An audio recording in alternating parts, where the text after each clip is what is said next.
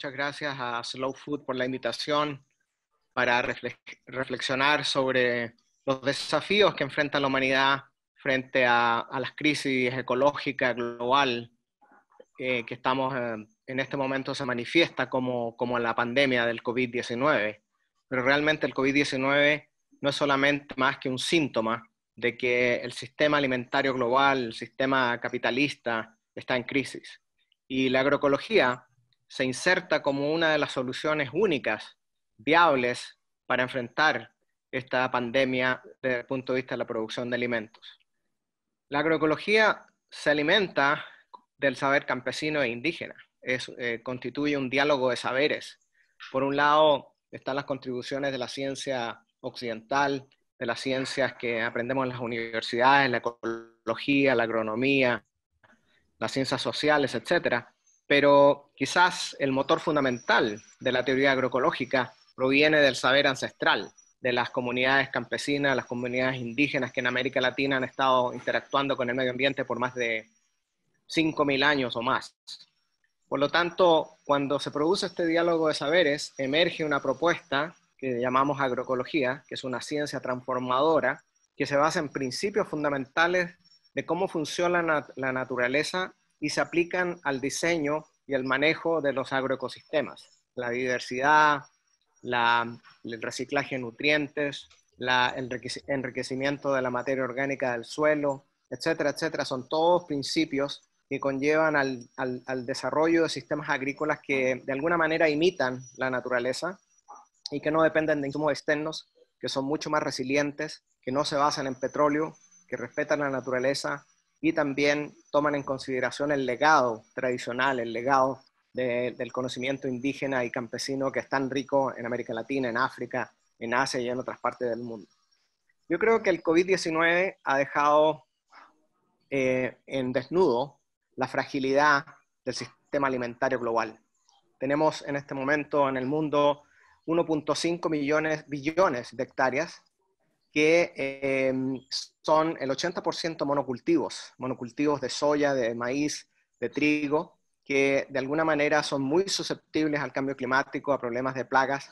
Estos sistemas han tenido una, una, una huella ecológica enorme, eh, se han transformado en fuerzas transformadoras de la biosfera, a tal punto que hoy en día dependen de la aplicación de 2.3 billones de kilos de pesticidas que se inyectan en la biosfera que tienen un impacto ecológico eh, fundamental, pero también que afectan la salud humana. Sobre todo, muchos de ellos son inmunosupresores y también disruptores endocrinos. Por lo tanto, hay una serie de enfermedades que se asocian al uso de estos pesticidas y también por ser inmunosupresores, como el Roundup, el glifosato, también eh, dejan a las poblaciones a que sean mucho más susceptibles enfermedades como el COVID-19 porque afectan su sistema inmunológico.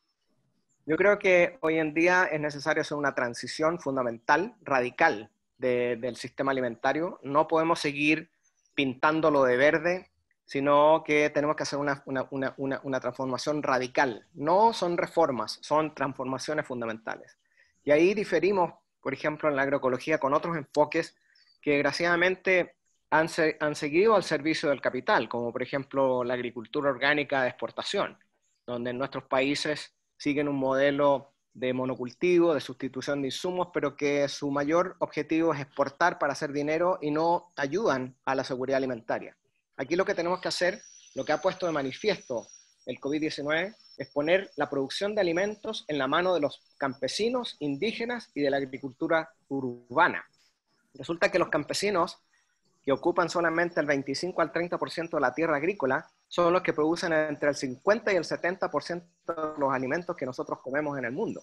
La agricultura industrial solamente produce el 30% de los alimentos, pero consume el 80% del agua, el 70% de la energía de petróleo, produce el 40% de los gases de invernadero que están causando el cambio climático. La agricultura campesina enfría el planeta y por lo tanto son los que pueden llevar a cabo la producción de alimentos de una forma agroecológica, respetando la naturaleza y también eh, haciendo que estos alimentos sean accesibles a toda la gente, sobre todo a la gente vulnerable, a la gente pobre, que es la que está sufriendo la crisis del COVID-19 hoy en día.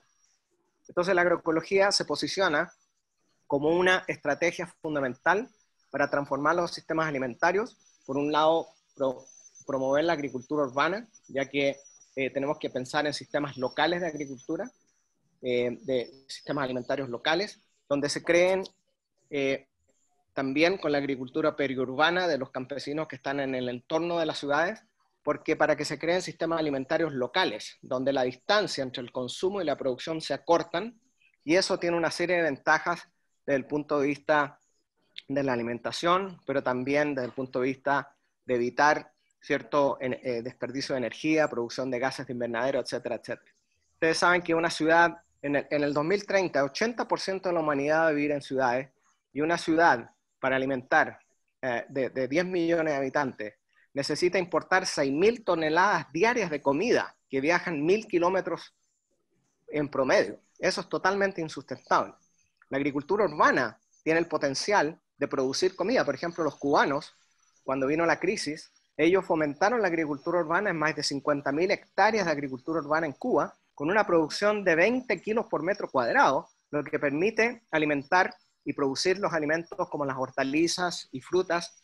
Eh, el 50% de las frutas y hortalizas en las ciudades mayores como Habana, Santa Clara y otras.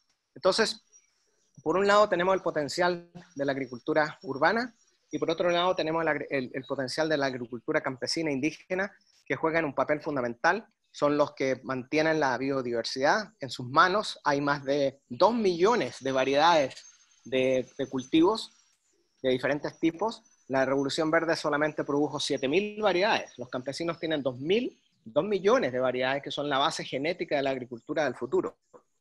Y esta agricultura entonces hay que potenciarla, hay que apoyarla, como lo hace, por ejemplo, Terra Madre con, con sus presidios y otras iniciativas que hay a través del mundo.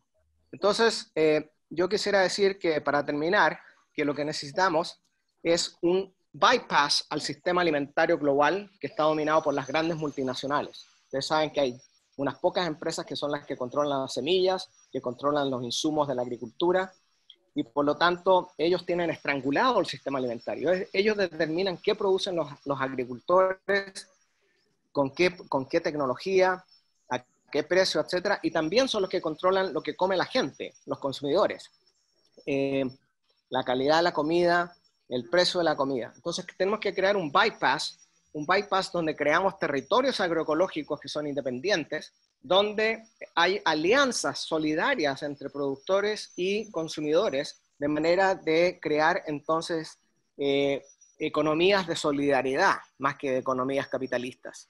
Y en ese sentido hay muchos ejemplos. En Brasil, por ejemplo, Ecovida y otras grandes eh, iniciativas que hay son muy importantes porque crean ¿cierto? Estos nuevos espacios de interacción donde los consumidores juegan un papel importantísimo, porque los consumidores tenemos que entender que comer es un acto político y un acto ecológico a la vez. Cada vez que nosotros compramos a los campesinos, a los indígenas, nosotros estamos apoyando eh, una resiliencia socioecológica, una sustentabilidad local.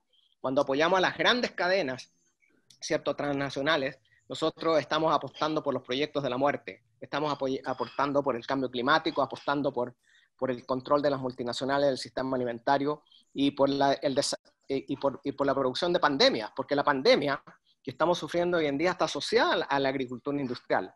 El avance de los monocultivos que destruye los, los, los bosques hace que la vida silvestre que está interactuando con diferentes virus sean liberados y entran en contacto con el ganado y con la gente. Y de esa manera se empiezan a propagar estas, estas, estas pandemias. Entonces, tenemos que pensar que la salud humana, la salud ecológica, la salud del suelo, la salud de la agricultura, están todas relacionadas. Y eso es lo que la agricultura hace, la agroecología hace. Es una ciencia holística, sistémica, que se basa en el conocimiento tradicional y que puede potenciar el escalonamiento de una nueva propuesta, una nueva propuesta agroecológica de desarrollo local, sustentable y resiliente para el futuro de la humanidad.